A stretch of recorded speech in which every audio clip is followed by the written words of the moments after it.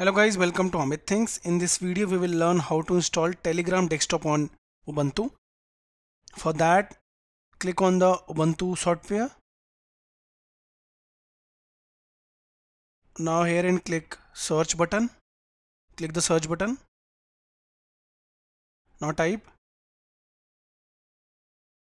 Telegram desktop and press enter.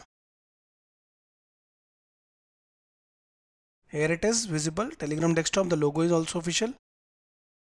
The logo is also official. Click on it. You can see it is from the official. Go below. It is safe confined. Software developer is also verified. So click install that's it. Add the password.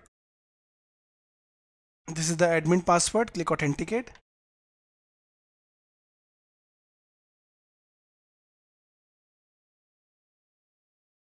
now the installation started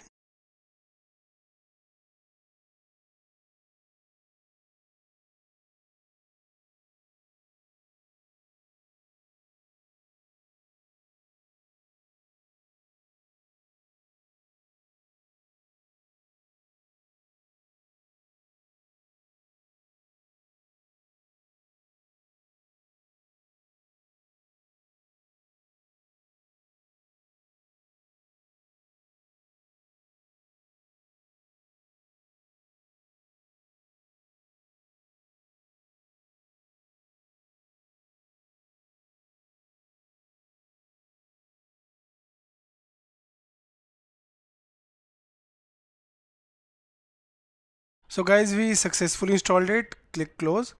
Now go to the activities panel, click on it. Here in type Telegram and it's visible. Click on it. It will open now.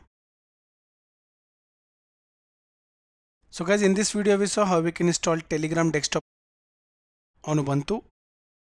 Thank you for watching the video.